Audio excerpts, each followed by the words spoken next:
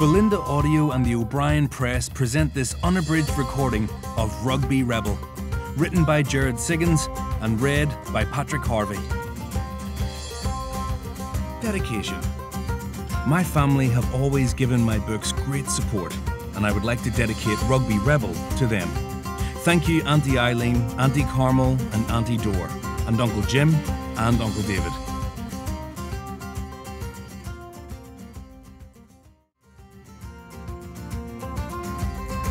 Acknowledgements.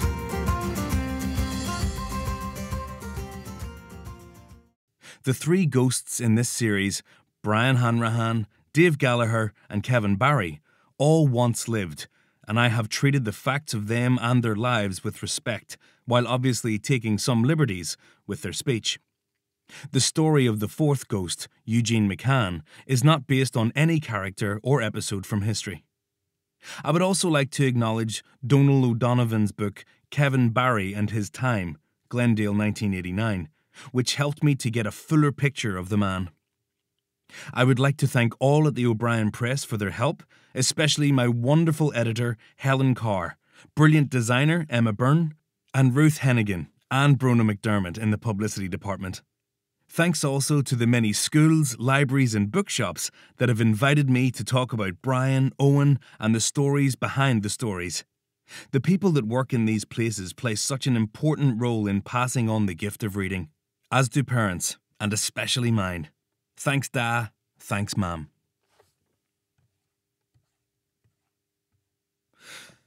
Chapter 1 Duck! came the call from somewhere to Eoin's left. He instinctively lowered his head just as a bullet whizzed over his helmet. That was close, he muttered as he adjusted his headgear. He gripped his rifle tightly and turned to where the call had come from. A burly man with a black moustache grinned back at him. You still have a few days rugby left in you yet, son, he chuckled. Rugby? said Eoin, suddenly remembering. Oh no, I'm late, he called as he swung his legs out of bed. Putting on his socks, Eoin paused, recalling the last moments of his dream. Saved me again, Dave, didn't you?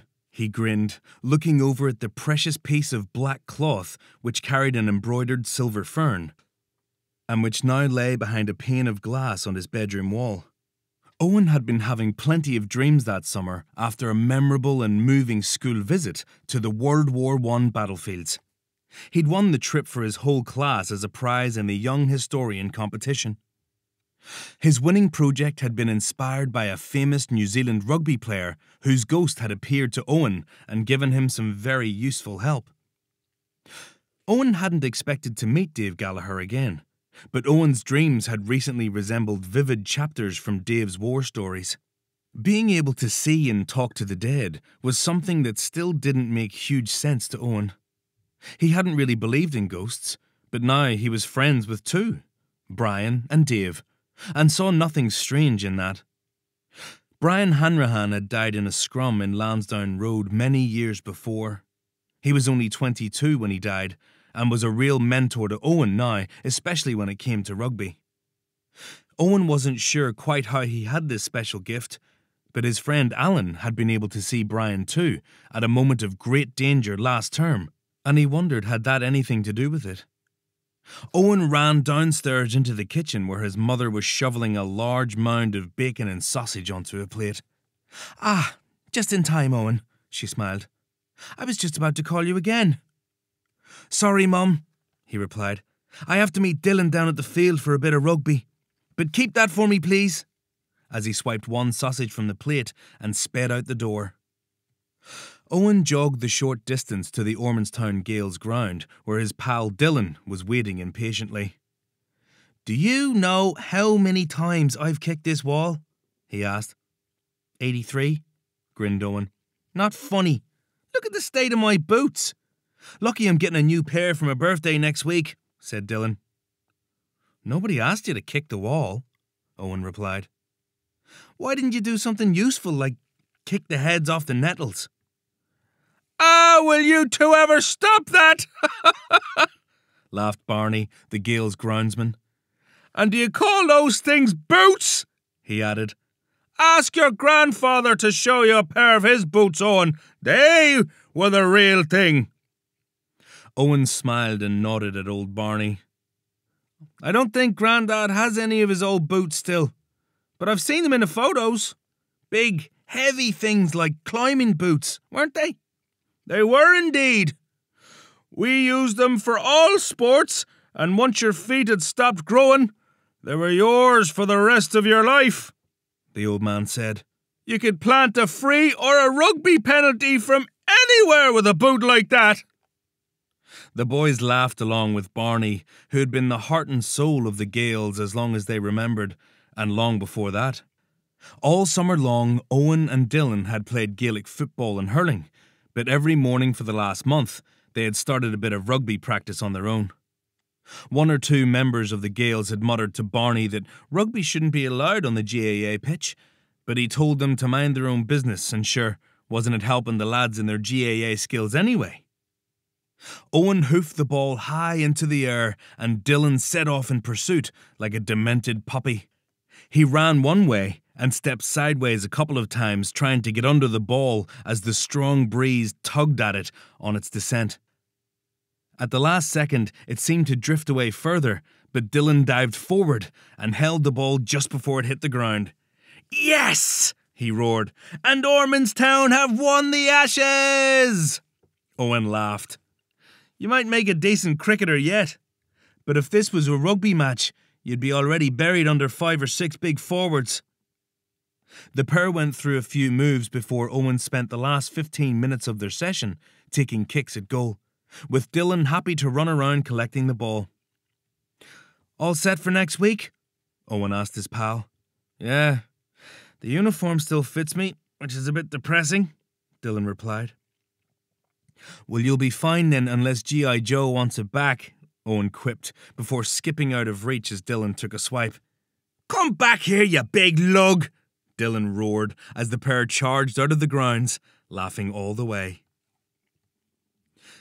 Chapter 2 Dylan really seems to have settled down, Eoin's mum announced after tea. Yeah, I suppose so, said Eoin. Once that thing with his dad was sorted out, he's been in great form. He's really put it behind him, and it's been good crack to have him around for the summer. Eoin and Dylan had been involved in a dramatic incident at Lansdowne Road at the previous season's Schools Cup final, but they had escaped with no harm done. There's a big weight off his shoulders, I'm sure, his mother chipped in. Yeah, I suppose, Eoin replied, before turning to his father. Did you ever notice how Mam never asks questions? He grinned.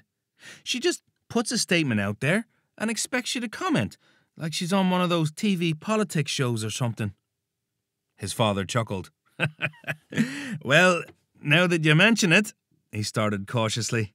He was cut off by a flying tea towel as Mrs. Madden stood up in mock fury. How dare you, young man! And me, after cooking you a lovely meal, too!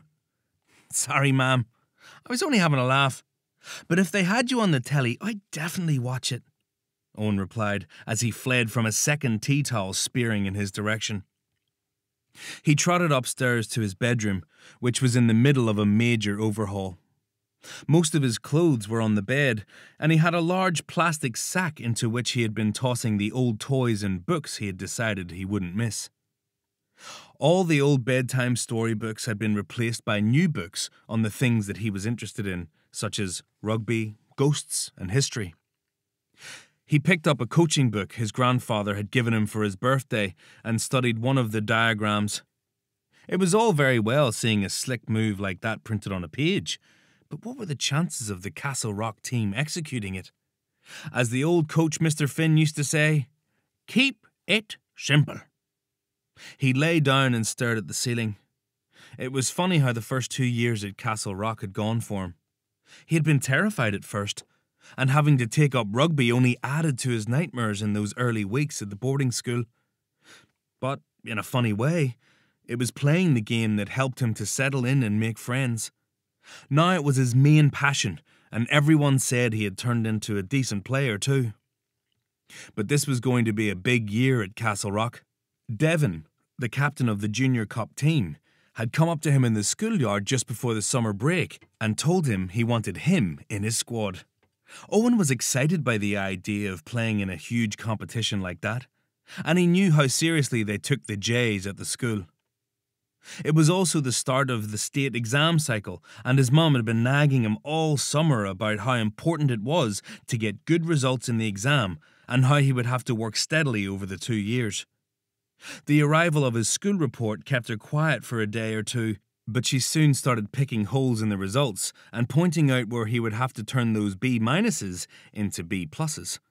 Eoin laughed, still amazed at how positive the school report had been but he reckoned it was his win in the national young historian competition that had given the teachers such a good impression of him. It was even funnier to remember how he had been bored by history in primary school.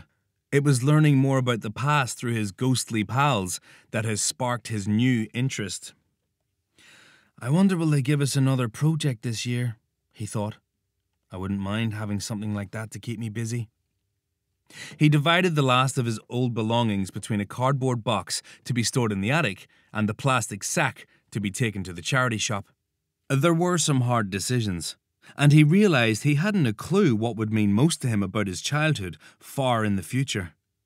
He shrugged his shoulders and decided not to think about it too deeply, consigning mementos of his first 13 years on Earth into the keep or lose piles on a whim. Chapter 3 the last few days of freedom went quickly, as they always do.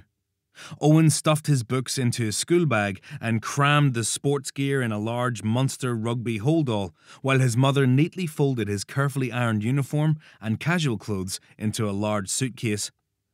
Ah, oh, don't iron the socks, ma'am. The lads give me an awful time about that, he said. She smiled.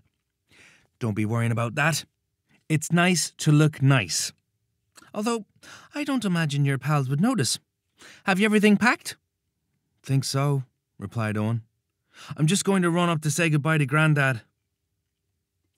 I do believe he's just saved you a journey, she replied, as she pointed out the window to where his grandfather, the great Dixie Madden, was standing, waving up at them. Eoin lugged the two bags over his shoulder and struggled downstairs and out to the car. Hello, young man, said Dixie. All set for Castlerock? I suppose so, said Eoin. Are you coming up for the spin? I'd love to, but there's not enough room with you and your pal and all those bags.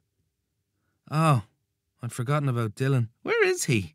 asked Eoin, looking out the gate. I've given his mam a ring, said Eoin's father. We'll call by his house and pick him up. Well, Eoin, I hope this school year won't be quite as dramatic as the last one, said Dixie. Although I do hope we get another trip up to the Viva Stadium. Ah, Grandad, you never get that right. It's the Aviva, laughed Eoin. Ah, well, it will always be Lansdowne Road to me, chuckled his Grandad. Well, I wouldn't get your hopes up, Grandad. I'd be really lucky to even make the Junior Cup panel. It's unheard of in second year. I'll have another go at it after this year, though, so keep taking your cod liver oil tablets. Dixie laughed and slipped a banknote into Eoin's pocket. Eoin smiled and gave the old man a hug. Thanks, Grandad. I've had my eye on the new Ireland jersey for ages. I'll be able to get it now. Ah, sure. Can't you just wait till you're selected? They'll give you any number of jerseys then for free. Eoin laughed aloud. Thanks, Grandad. No pressure. With all the bags loaded in the boot, Eoin turned to give his mother one last hug and hopped into the front seat beside his dad. See you all at Halloween, he called as the car pulled out of the drive and turned towards Ormondstown town centre. It's great that Dylan's gone back to Castlerock, said his dad. He should be a lot more content this year, too. I hope so, replied Eoin.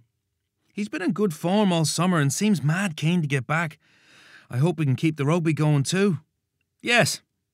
I expect it'll be tricky this year with you pushing for the JCT squad. Will any of the rest of the lads be in contention? asked Dad. It's hard to know. The squad's weak enough in the backs, so Richie Duffy might get called up too. Maybe Mickey O'Reilly. We hope you enjoyed this preview. To continue listening to this audiobook on Google Play Books, use the link in the video description.